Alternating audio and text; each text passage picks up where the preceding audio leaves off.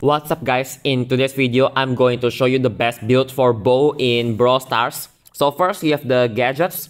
Uh, you want to use the first gadget, it's way better than the second one because it can be helpful for you and your teammates. The second one is too high skilled, so if you suck, don't use it. Now next we have the star power. Um, usually on most of the scenarios, you want to use the second one as the stun is really helpful. But if the map has a lot of bushes, like Cavern Churn, use the first one because it can allow both to snipe away enemies and potentially put him away from dangers, like Edgar's. Now we have the gears. Um, use the epic gear. It's a no-brainer, really OP. Then the other gear, probably damage because he does a lot of damage and you don't need shield. He have a decent amount of HP. The gadget gear is kinda mid because his gadgets are not that good.